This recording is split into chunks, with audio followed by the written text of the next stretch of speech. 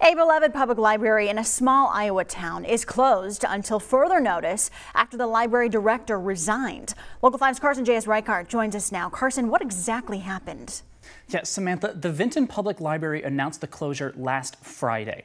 As battles over book selections continue across the country, they're really starting to hit close to home. Vinton, Iowa is a pretty small town. It's home to just under 5,000 Iowans. Its library has been open since 1904, but right now, those doors are closed to the public. Following the resignation of the interim director, the library was left with no full time employees. We felt that in the best interest of the library, and in order for us as a board to have a little bit of time to develop a plan moving forward, that we would close for this week. But the why of the absence is a little less cut and dry. Kelly tells me that Vinton community members were concerned about books the library had on display, this is footage from the board's April meeting. If there are books highlighting the LGBTQ lifestyle on display, we also believe that there should be equal books on display representing a more traditional lifestyle. That's a trend we're seeing across the country.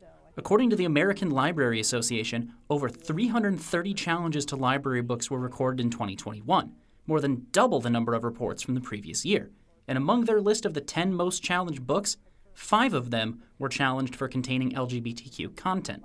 But Kelly says, despite the library's troubles, there has been a silver lining. He told me that at a time when the political climate leads to less discussions between people who disagree, he's been happy to see community members wanting to be involved in the library's future. Not a lot of those forums where you can kind of discuss or consider points from other people's perspectives. So I think what it created and what the situation's actually done has created some positives, brought more awareness to our. The Vinton Library Board is meeting tonight to discuss plans to partially reopen. Board members have been training to help fulfill some basic operations.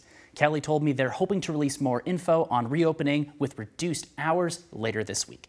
This is Carson J.S. Reichart for Local 5 News. We are Iowa.